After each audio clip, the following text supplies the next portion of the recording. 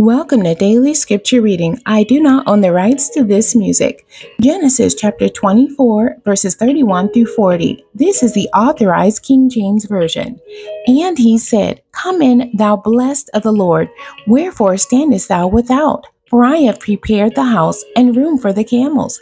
And the man came into the house, and he ungirded his camels, and gave straw and provender for the camels, and water to wash his feet, and the men's feet that were with him. And there were there was set meat before him to eat. But he said, I will not eat until I have told my errand. And he said, Speak on.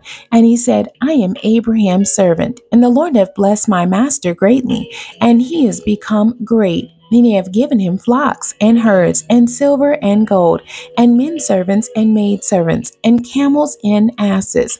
And Sarah my master's wife bare a son to my master when she was old, and unto him hath he given all that he hath. And my master made me swear, saying, Thou shalt not take a wife to my son of the daughters of the Canaanites, in whose land I dwell but thou shalt go unto my father's house and to my kindred, and take a wife unto my son. And I said unto my master, Peradventure, the woman will not follow me. And he said unto me, The Lord before whom I will I walk, will send his angel with thee, and prosper thy way.